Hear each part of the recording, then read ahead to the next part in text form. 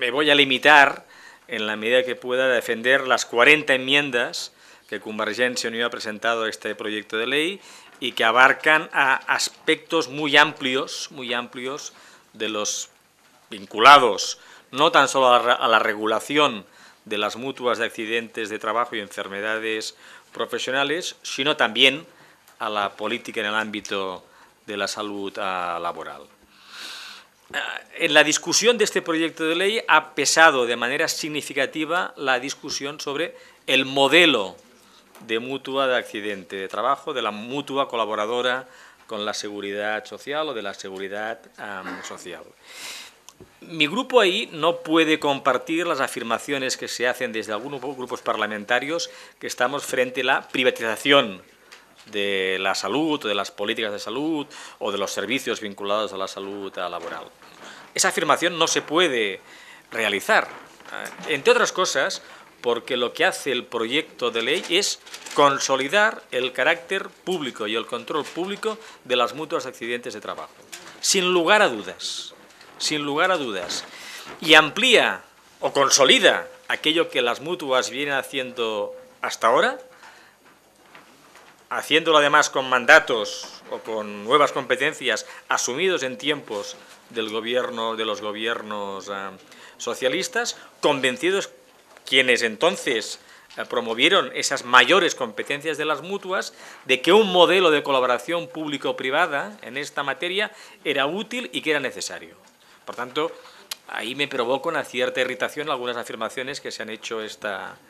esta, esta, esta tarde. Ahora bien, ahí nosotros hemos discrepado con el, con el Gobierno precisamente en ese excesivo intervencionismo de la legislación en el modelo de mutua, en la que no discutimos la gestión de recursos públicos, en la que no aspiramos a retornar a al año 1900, no aspiramos a retornar al año 1900, eh, al que aspiramos a mejorar la transparencia en la gestión de los recursos públicos, pero sí estamos convencidos de que el sentido que tiene que existan unas mutuas es introducir lo mejor de la gestión que se pueda dar desde la flexibilidad que tiene cualquier iniciativa eh, que no forme parte del sector público en un sentido estricto. Ahí es nuestra, nuestra tesis y hemos presentado un amplio paquete de enmiendas. La enmienda, por ejemplo, 113, que pretende dar un margen de gestión de las mutuas respecto a las instrucciones que se emitan desde los órganos competentes de la seguridad social la enmienda 118, que pretende reconocer que una mutua puede ofrecer un mejor servicio a una, a una empresa y que las empresas pueden elegir qué mejor, qué mejor mutua le puede ofrecer ese mejor eh, servicio. La enmienda 119, que pretende delimitar con precisión que las mutuas forman parte del sector público en un sentido amplio, pero que no son parte de la administración pura, pura y dura. La enmienda de 120 que regula cuál sería el contenido del estatuto eh, que debe tener cada mutua, introduciendo un mandato que permite a la mutua autorregularse en su funcionamiento interno. La enmienda 121 que pretende darles a las mutuas libertad en la gestión presupuestaria en el marco de los presupuestos que se aprueben, pero permitiendo a quienes gestionan los, los recursos de las mutuas eh, gestionarlos no simplemente convirtiéndose en una extensión de la seguridad social. O la enmienda 123, que introduce por primera vez un mandato de informe sobre responsabilidad social corporativa en la línea de lo que se está produciendo en el resto de Europa. O las enmiendas 124 y 125 que quieren reconocer la condición de personal laboral y de aplicación de la normativa laboral a buena parte de los trabajadores de las mutuas, en la línea de lo que nos planteaba el Consejo Económico y Social, o la enmienda 126, que pretende reconocer un régimen de responsabilidades, pero que no deje a los responsables de las mutuas a los pies de los caballos con una, enorme, una enorme indefensión, o la enmienda 129, que habilita a las mutuas de poder responder a las quejas que tengan los trabajadores trabajadores o las empresas y que, no permita que ni eso puedan hacer las mutuas y que lo deba hacer la Administración de la Seguridad Social o la enmienda 130 que pretende evitar que las mutuas estén sometidas a un constante cambio de criterios por parte de órganos distintos de la Administración creando una enorme inseguridad jurídica a las personas que gestionan aspectos tan importantes como las prestaciones por accidente de trabajo, por enfermedad profesional, por contingencia común. Y finalmente, una enmienda que nos parece fundamental, la 122, donde planteamos que el modelo de junta directiva de la mutua corresponsabilice a representantes de las organizaciones empresariales, a representantes de los trabajadores, de sus sindicatos, a representantes de los autónomos y a representantes del gobierno autonómico donde la mutua tenga ubicada su domicilio, ¿eh? su, su administración más, más, más, más, cercana. Un modelo, por tanto, en el que a mayor libertad de gestión, mayor corresponsabilidad de los interlocutores sociales y de las administraciones autonómicas. Ese es el modelo de Convergencia y Unión en relación al, al buen gobierno de las mutuas y en la que de manera lamentable, al menos hasta la sesión de hoy, no hemos conseguido aproximarnos al Partido Popular en esta, en esta cuestión e incluso alguna enmienda de las aceptadas con UPyD en esta materia nos aleja, nos aleja un poco. Y también, señorías, en este paquete se introducen las cuestiones vinculadas a la gestión de la reserva de las mutuas. Una cuestión importante. Nosotros ahí entendemos que la gestión de las reservas debe tener la flexibilidad suficiente y debe dotar a las mutuas de instrumentos financieros suficientes para no ir a agotar su patrimonio, su patrimonio histórico. Somos partidarios de defender el patrimonio histórico de las mutuas y, somos partidarios de que cada una de las contingencias a las que las mutuas deben hacer frente deban de tener también su propio elemento de estabilización para evitar algunas consecuencias negativas que la regulación que propone el Gobierno en esta, en esta materia puede tener en relación a las, mutuas. Y somos partidarios que en materia de las sociedades de prevención de dar un mayor plazo de tiempo, a través de la enmienda 144, así lo planteamos, para que las mutuas puedan proceder a dar cumplimiento a sentencias que han establecido que las mutuas no pueden monopolizar la prevención de, la prevención de riesgos. Ahí, señorías, no hay demasiado margen para hacer cosas distintas que la que hace el proyecto de ley. Parece ahí un paquete importante, insisto, del modelo de mutuas en el que con el Partido Popular casi no nos hemos puesto de acuerdo en ninguna cuestión. En cambio, he de decir que nosotros marcábamos una prioridad en esta discusión parlamentaria que era blindar el modelo catalán de gestión, de seguimiento de la contingencia común. Lo decía el señor Anchuelo y en parte lo reconocía el señor Llamazares el control último de la alta queda en manos del sector público. No queda en manos de las mutuas, queda en manos de los servicios de salud públicos.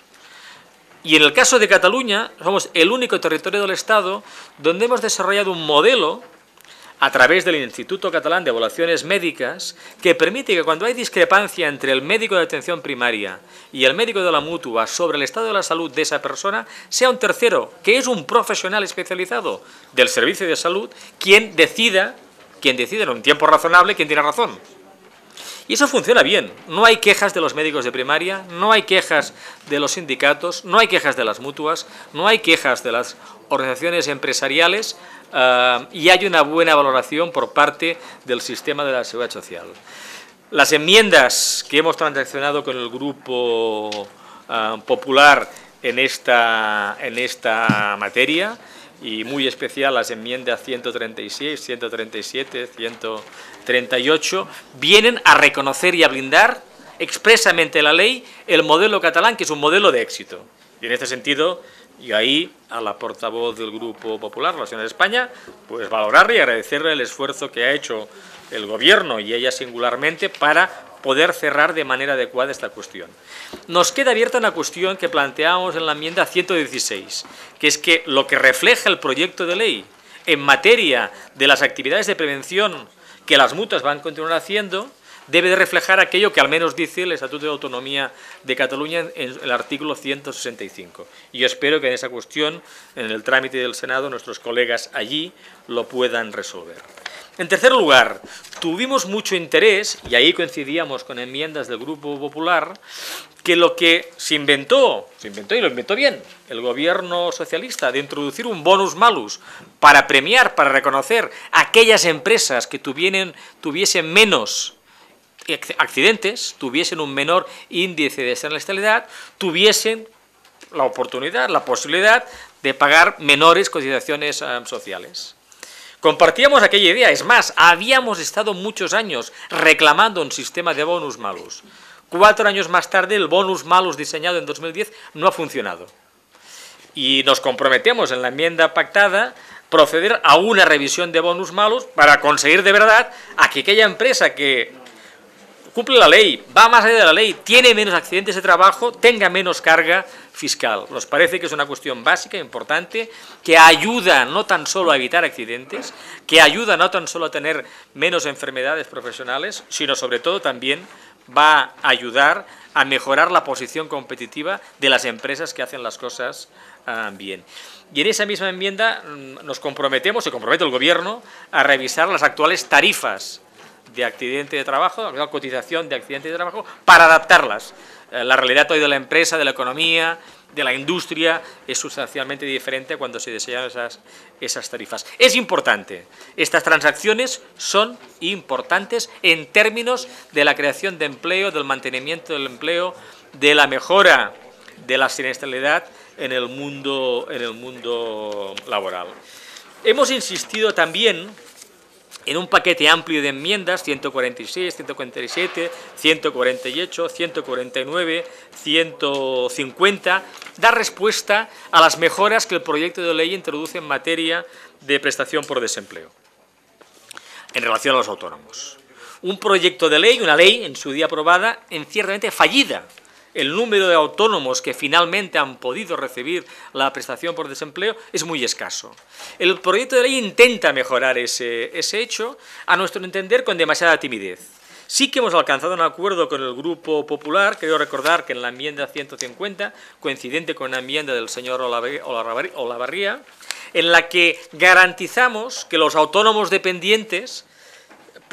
que son reconocidos con unos criterios determinados, son reconocidos como autónomos dependientes en la ley del Estatuto del Autónomo, pueden acceder a la prestación por desempleo, que eso no sucedía con la ley de hace unos cuantos años. Pero no hemos avanzado de manera suficiente en esta materia, especialmente para aquellos autónomos que están en módulos y que tenemos el riesgo de que con la legislación nueva continúen sin poder acceder a la prestación por desempleo. Eso sería bueno que fuésemos capaces de resolverlo en el trámite del, del, Senado. Y finalmente, y con ello termino, señor presidente, hemos presentado algunas enmiendas que enlazan con la reflexión que el señor Llamazares al final de,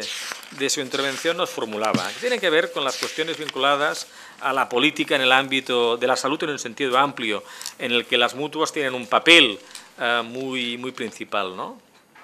Por ejemplo, en la enmienda 139 hacemos un mandato para mejorar la protección para las personas afectadas por cáncer o enfermedad grave, en la línea de una proposición de ley que defendió la señora Fernández del BNG hace unas pocas semanas. O la enmienda 140 que pretendemos mandatar al Gobierno a, propuestas de actuación frente al problema del subregistro de enfermedades graves ocasionados por el, por el trabajo. O la enmienda 153 que pretende mejorar la prestación ah, económica por cuidado de menores afectados por cáncer o otra enfermedad grave. Son cuestiones quizás no directamente vinculadas al modelo de mutua, a lo que regula estrictamente la ley, pero tienen que ver con las funciones que las mutuas deben desarrollar y en la que ciertamente en ese modelo de colaboración público-privada hay un terreno importante aún a recorrer. En cualquier caso, mi grupo, como han dicho el resto de portavoces, en aquellas enmiendas de otros grupos que hay coincidencia las apoyaremos, en aquellas que no haya coincidencia las vamos a rechazar y sí que queremos agradecer, como decía hace unos minutos el esfuerzo del Gobierno, el esfuerzo, el esfuerzo del Grupo Popular para encontrar puntos de acuerdo que son significativos, pero que hoy en este trámite nos continúan dejando en la posición de abstención, tal como debatimos en el Pleno, a la espera de que el trámite del Senado nos permita resolver algunas cuestiones que nos continúan preocupando. Nada más y muchas gracias.